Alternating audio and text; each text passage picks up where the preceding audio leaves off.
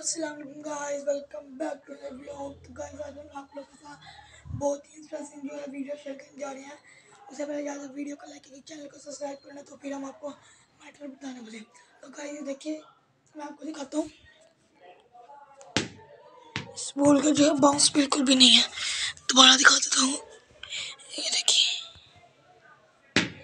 ये, इसका बाउंस नहीं है। और ये देखिए ये भी दिखाता हूँ। और हम इस बॉल की बात करें तो ये छोटा सा बॉल है इसका बाउंस जो है हमने निकाला है। आप देख सकते हैं इसकी कंडीशन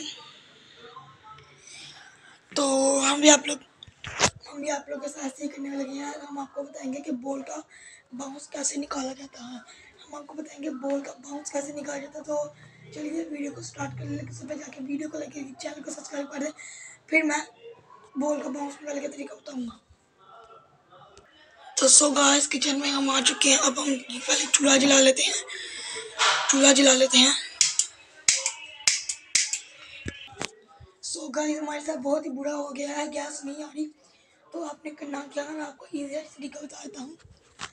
आपने पहले कोई सी चीज़ ले ली है जिसे आप बोल को अच्छी तरीके से पकड़ पाए।